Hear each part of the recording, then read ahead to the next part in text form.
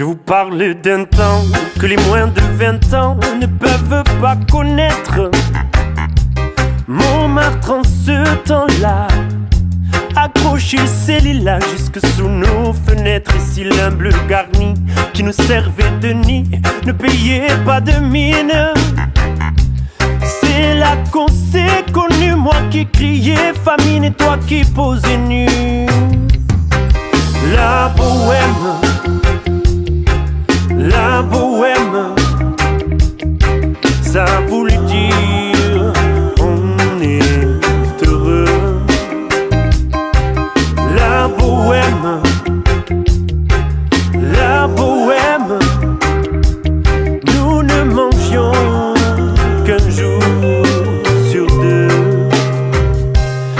Cafés voisins, nous étions quelques-uns qui attendions la gloire bien que miséreux. Avec le ventre creux, nous ne cessions d'y croire et quand quelques bistrots, contre un bon repas chaud, nous prenaient une toile. Nous récitions des vers groupés autour du poêle en oubliant l'hiver. La bohème,